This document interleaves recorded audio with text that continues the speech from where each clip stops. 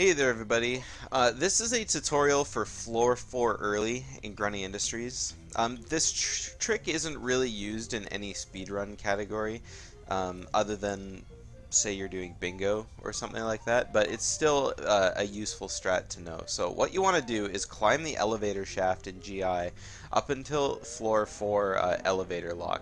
Now, you can see that there's a shaking happening, and that is the crushers so what you want to do is aim and face left on this wall and see up. Now, as you can see, when the screen shakes, you can see through the wall a little bit. And if you look at where my cursor is pointing, um, you'll see that there's the elevator button on the other side, right about here. So what you want to do is you need to pause the game to buffer a grenade shot while pointing at the button. And you kind of have to just predict when the screen is going to shake. There isn't any real consistent way to do this. Um, the screen will shake and it'll stop shaking and like a second after it stops shaking you'll want to pause but again you kind of have to blindly do it there's no real way to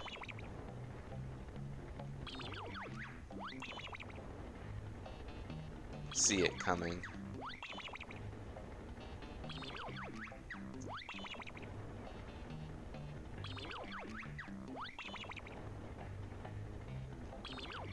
We almost had it. I mean, obviously you could do this shot without pausing, but that would be so much harder. As Banjo only has so much health.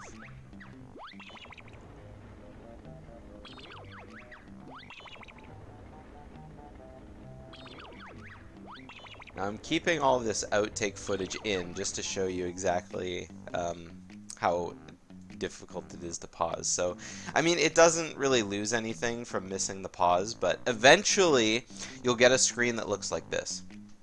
Now, when you hold the Z button, when you unpause, you will fire on the same frame that it's that um, the screen is showing, or the next frame.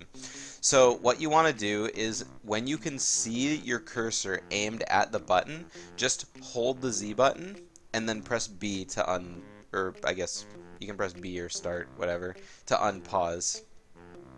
And you'll automatically fire grenade egg, which will open the door.